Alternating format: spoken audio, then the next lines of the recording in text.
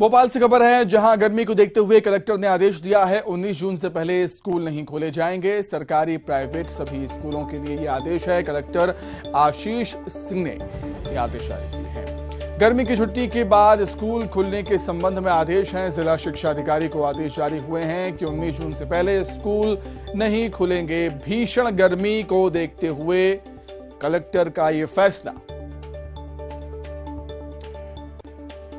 मध्य प्रदेश में इस समय अधिकांश ज़िले ऐसे हैं जहाँ आसमान से आग बरस रही है, पारा लगातार बढ़ता ही जा रहा है, भीषण गर्मी हो रही है। और इसी को देखते हुए कलेक्टर का आदेश है कि 19 जून से पहले स्कूल नहीं खुलेंगे।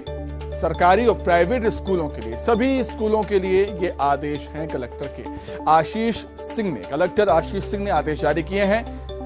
गर्मी की छुट्टी के बाद स्कूल खुलने के संबंध में आदेश है। जिला शिक्षा अधिकारी को आदेश जारी हो चुके हैं। 19 जून से पहले स्कूल नहीं खोले जाएँगे। तो चाहे वो सरकारी स्कूल हो या निजी स्कूल हो, प्राइवेट स्कूल हो 19 जून से पहले स्कूल नहीं खोले जाएँगे। भीषण गर्मी को देखते हुए फैसला अधिक जानकारी के लिए बातचीत करेंगे। जितेंद्र हमारे साथ जुड़ गए हैं भोपाल संवाददाता। जितेंद्र अच्छा फैसला कलेक्टर का?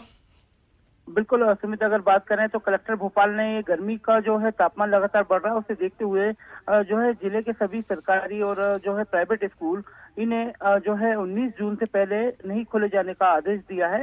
उन्होंने कहा कि बच्चों को गर्मी लग सकती है तापमान में लगातार बढ़ोतरी हो रही है इसलिए 19 जून से पहले किस, हम्म। किसी भी तरह के निजी और सरकारी स्कूल नहीं खोले जाएँ।